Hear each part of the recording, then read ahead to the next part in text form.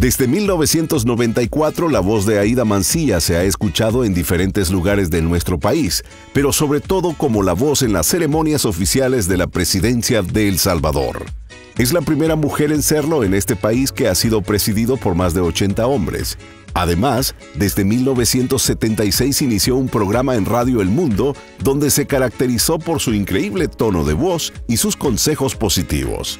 Aida Mancilla se resume a sí misma como una santaneca, aficionada a la cocina y a la poesía, y asegura que aunque tenga voz grave, no significa que sea seria. Su éxito detrás de su talento comenzó con la ayuda de Francisco Imendia, entonces secretario de Comunicaciones, quien la recomendó en el periodo del doctor Armando Calderón Sol. Desde esa fecha ha experimentado los momentos más bonitos de su vida y de su profesión. Ante todo porque ha sido hasta el día de hoy la primera mujer en ser maestra de ceremonias en el país. Y es por todo eso que la nombramos la grandiosa del día.